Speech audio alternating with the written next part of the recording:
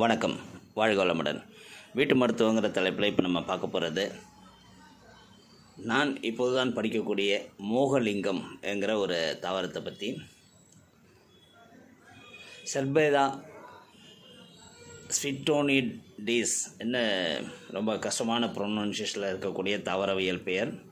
ஆங்கிலத்தில் இது viewers beam ட்ரீன்னு சொல்கிறாங்க இந்தியில் மோகான்னு சொல்கிறாங்க இமாலயத்தின் வெப்பம் மற்றும் மித வெப்ப பகுதிகளில் தென் மற்றும் மைய இந்தியாவில் காணப்படும் ஒரு தாவரம். இதோட இலைகள் கனிகள் வேர்பட்டை வேர் மருத்துவ குணம் பொருந்தியது.